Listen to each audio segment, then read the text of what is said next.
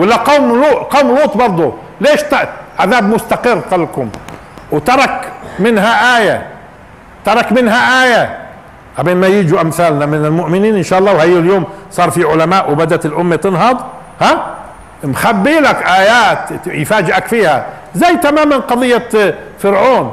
ننجيك ببدنك وبعدين اكتشفوا جثته اللي هو من بتاح على فكرة مش صحيح رمسيس. من بتاح اللي معروض الآن في الأقصر. مش هيك؟ والناس تتفرج عليه من بتاع حتى أبوه كمان معروض اللي هو رمسيس الثاني.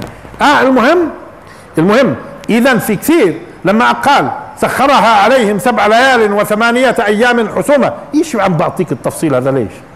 فترى القوم فيها صرعى إشارات برضه للناس اللي بتفهم. ولا لما وإنكم لتمرون عليهم مصبحين. وبالليل أفلا تعقلون؟ يعني مش أفلا تبصرون؟ مش أفلا تبصرون؟ بدها عاقل وإن قوم لوط ها إنكم لتمرون عليهم مصبحين.